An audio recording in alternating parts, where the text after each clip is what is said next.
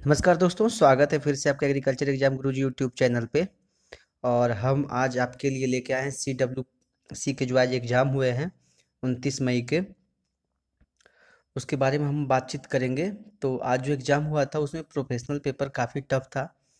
जो एग्रीकल्चर के स्टूडेंट थे, उन्होंने सिर्फ़ एग्रीकल्चर का ही क्वेश्चन किया होगा, बाकी दो चार क्वेश्चन फिजिक्स केमिस्ट्री या फिर बायो से ही कर पाए होंगे। तो आज हम यहाँ पे बात करेंगे एक्सपेक्टेड कट ऑफ़ ऑफ़ जो जूनियर टेक्निकल असिस्टेंट की एग्ज़ाम हुई है और आपका जो अटैम्प्ट है वो कितना है, मुझे कमेंट बॉक्स में ज़रूर बताएँगे। तो बने रहिए हमारे वीडियो के साथ। आई होप आपको वीडियो पसंद आएगा और हम यहाँ पे बातचीत करेंगे एक्सपेक्टेड कट ऑफ़ की जूनियर असिस्टेंट के बारे में। फ्रेंड्स यहाँ पे जो जीए की क्वेश्चन आई थी उसके बारे में आपको बता दूँ कि ये जीए की बीस क्वेश्चन आपके सामने स्क्रीन पे दिख रहा है। तो इसमें जो फ़र्स्ट क्वेश्चन है बांग्लादेश के पीएम शेख हसीना के बारे में पूछा गया था कि बांग्लादेश के पीएम कौन है। फिर एडीबी बैंक के जो मुख्यालय हैं उसके बारे में पूछा गया था फिर सेवेंथ अप्रैल जो है वो किस आ, कौन सा डे मनाया जाता है वहाँ पे? म्यूजिकल म्यूज़िक म्यूजिशियन म्यूज़ियम कहाँ पे खोला गया है?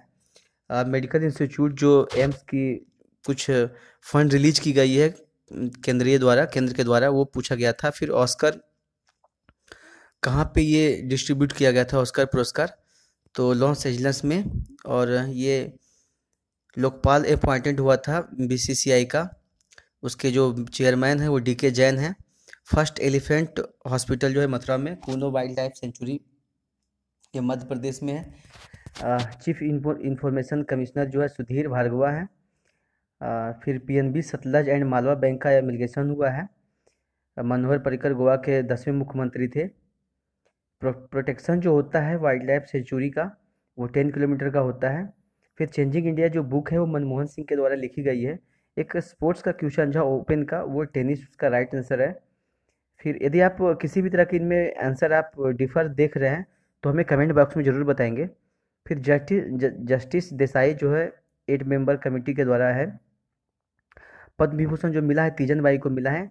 और कैपिटल ऑफ़ साउथ कोरिया ये सियोल जो है साउथ कोरिया की राजधानी है। नागालैंड के लोग लोग जो लोकपाल हैं, वो उमा नाथ सिंह हैं। फ्रेंड्स, उसके बाद हम लोग बात कर लेंगे सी डब्ल्यू सी के जो एक्सपेक्टेड कट ऑफ़ हैं इस साल के, उसके बारे में। यहाँ पे 200 क्वेश्चन पूछा गया था। दो सौ क्वेश्चन यहाँ पे पूछा गया था और लगभग टाइम जो था वो दो घंटा तीस मिनट था। तो यहाँ पे जो मैथ रीजनिंग इंग्लिश और लगभग जीए की जो पेपर है वो मॉडरेट लेवल की थी। इजी तीन पेपर तो आपका इजी था मैथ रीजनिंग और इंग्लिश का और जो जीए थी वो मॉडरेट लेवल की थी। तो यहाँ पे जो कट ऑफ़ निकल के आया है और हमारा जो आ, ये प्रोफेशनल का जो सिक्सटी फाइव क्वेश्चन था उसमें एग्रीकल्चर के बहुत कम जो लगभग पंद्रह से बीस क्वेश्चन ही किए होंगे। बाकी सब तुक्के लगा के आए हैं तो उसका कोई मतलब नहीं है।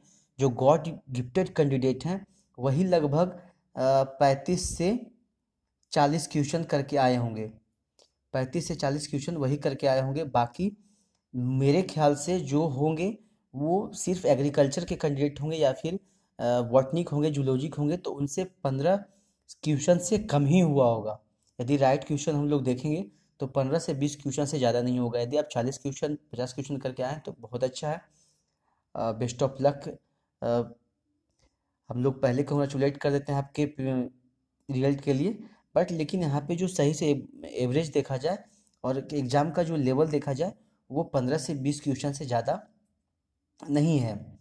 तो हम लोग यहाँ पे जो एक्सपेक्टेड कट ऑफ़ है, वो जनरल के लिए जनरल के लिए हम लोग देखा गया है। तो वो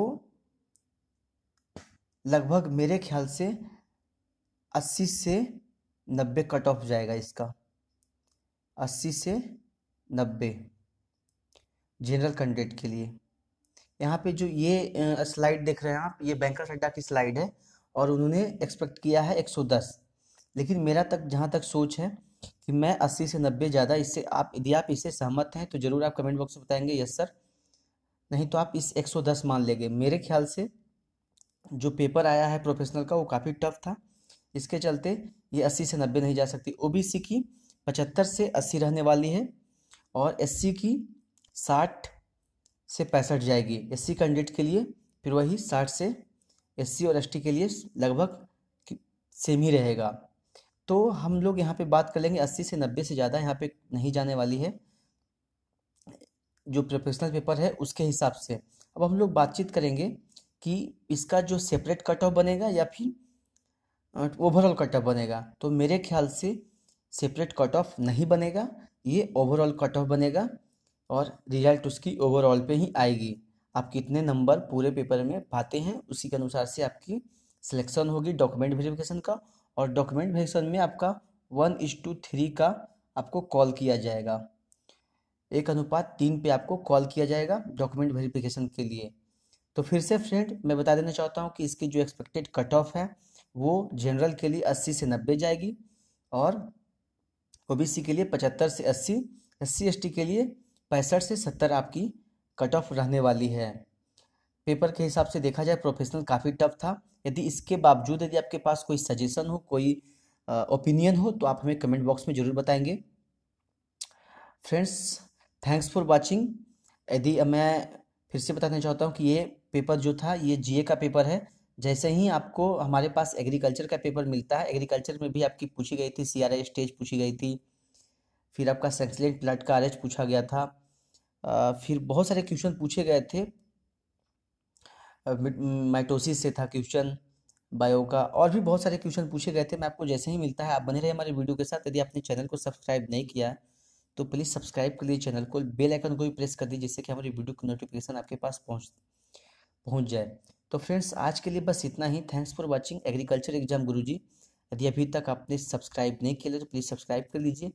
हमारे वीडियो को यदि आपको आई होप पसंद आया होगा तो लाइक कीजिए शेयर कीजिए और किसी भी तरह का ओपिनियन के लिए कमेंट कीजिए। आज के लिए बस इतना ही फ्रेंड्स जय जवान, जय किसान।